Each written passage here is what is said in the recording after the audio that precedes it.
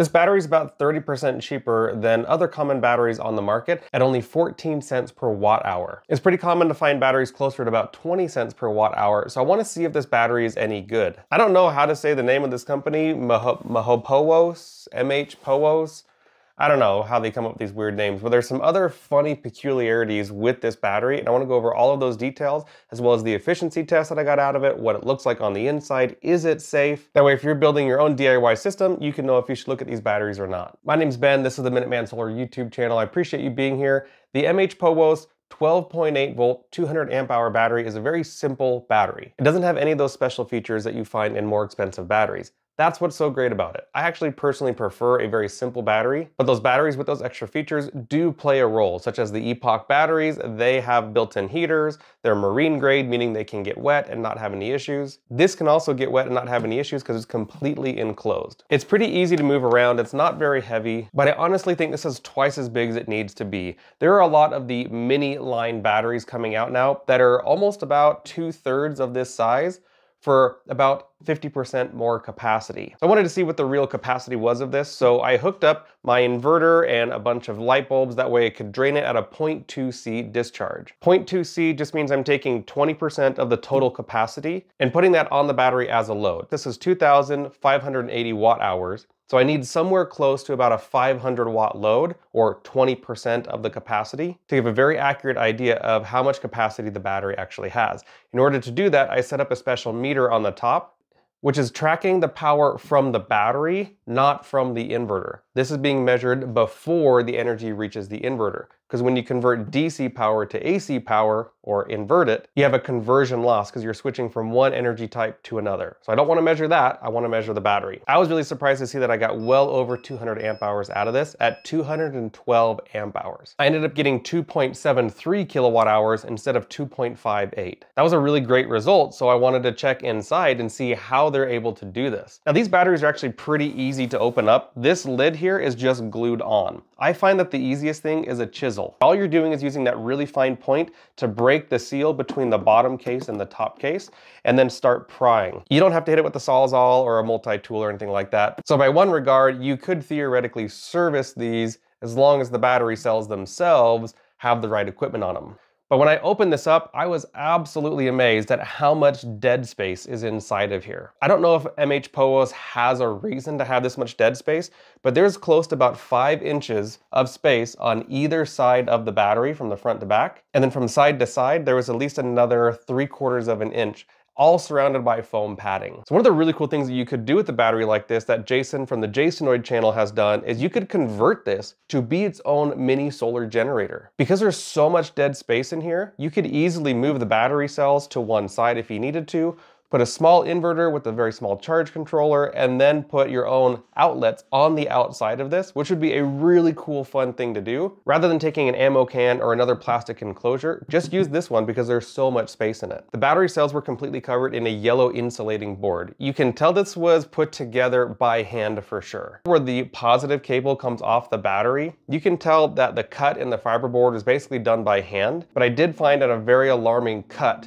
on one of the positive cables. So there may be some quality control issues there. It didn't go through the sheathing, but that's absolutely a big concern. The insulation board is held together with a fibrous tape, which was really easy to cut open and was not applied very neatly. Once I peeled back the insulation board, I could see that the bus bars between the batteries were laser welded into place. This is a pretty common way for companies to put batteries together. Personally, I prefer to see bolts threaded into the bus bar because then if one cell dies, you can actually remove the bus bar and remove the bolts and pull that cell out and theoretically replace it. Realistically though, these batteries are getting so cheap, you probably wouldn't ever do that. But I was very surprised to see that there were eight battery cells in here, not four. But that's how they get to the 12.8 volt and 200 amp hour rating. The QR code on the top allows you to find out all of the information about the battery cells being used.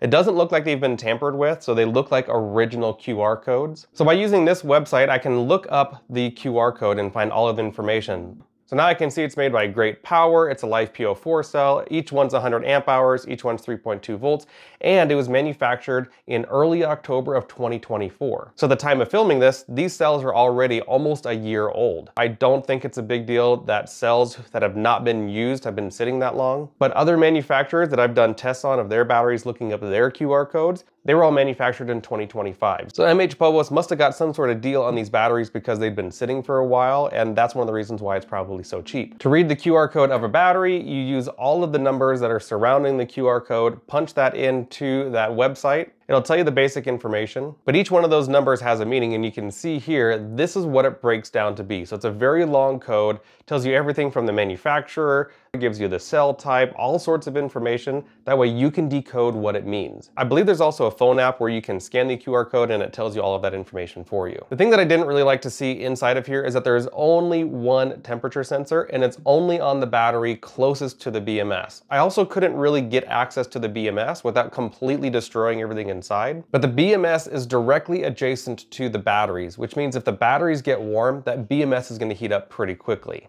I wouldn't put any heavy loads on this for an extended period of time. That's gonna make the cells get pretty warm and probably trigger that heat sensor. I also didn't like how the main battery cables were soldered to the batteries. It just looked very poor quality and then it was gobbed on with some insulating glue. It just didn't look very professional. To put this all back together, I simply retaped everything closed and I used some silicone glue along the inside of the lid here. I just cleaned out all of the old glue, put in new glue, put this on, and then clamped it shut. And now it's looking like it's brand new again. Getting into the battery is pretty easy. Replacing cells, not really that easy. But when it comes to price, this is only $360 on Amazon. And that's where I'm getting that 14 cents per watt hour price. But if you go to their website, it's actually $420.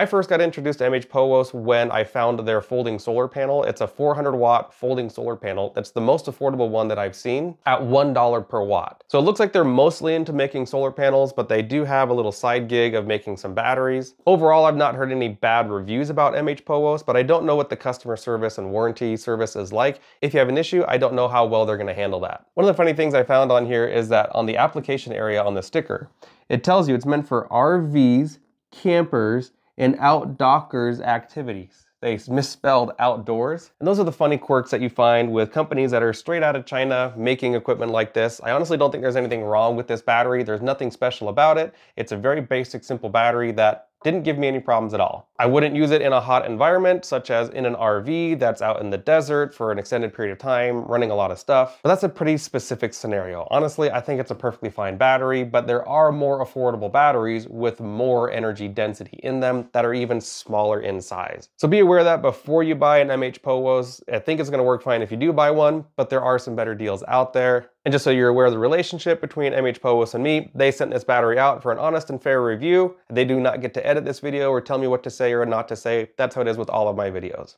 If you found this video helpful, I think you'll also find this video very helpful to you. So make sure to check that out. And if you have any questions about this type of equipment or what you need to run your house, your RV, whatever it is, shoot me an email to info at poweredportablesolar.com, soon to be info at minutemansolar.com.